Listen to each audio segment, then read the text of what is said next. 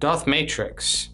Place face down in round effect. At game's end, choose any previously played Serenity icon card from the faction discard pile and play instantly. Cannot replay legendary cards.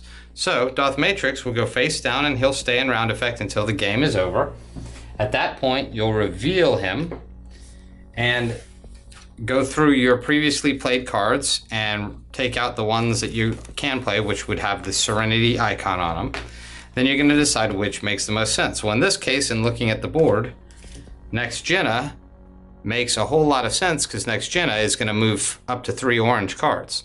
So I'm going to play Next Jenna, and because I have a Serenity icon on the board, I can do the following. I can say one, two, one, two, and then I can say one, two, three because of that. So Doth Matrix essentially becomes Next Jenna or any other Serenity card at the end of the game.